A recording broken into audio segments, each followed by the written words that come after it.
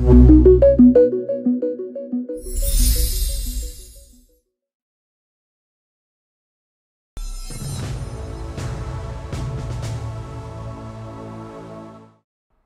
pemirsa, misteri mayat wanita terbungkus plastik di Kalimalang, Bekasi, Jawa Barat mulai terkuak.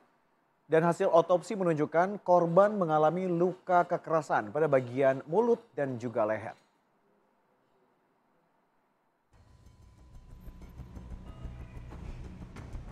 Usai otopsi jenazah wanita bernama Ade Yunia Rizabani berusia 36 tahun langsung disemayamkan di rumah duka Rumah Sakit Polri Kramat Jati. Selain keluarga, nampak sejumlah kerabat korban pun turut hadir. Keluarga dan kerabat sangat terpukul atas kepergian korban.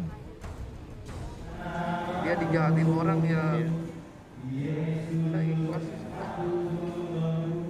Hasil otopsi menunjukkan adanya luka kekerasan pada bagian mulut dan leher yang disebabkan oleh benda tumpul. Sebelumnya Senin malam lalu warga menemukan sesosok mayat wanita terbungkus kantong plastik di kolong jembatan tol Becakayu persisnya di Jalan Inspeksi Kalimalang, Pondok Gede, Bekasi. Demikian laporan Simon Tobing dan Kurnia dari Jakarta Timur dan Bekasi.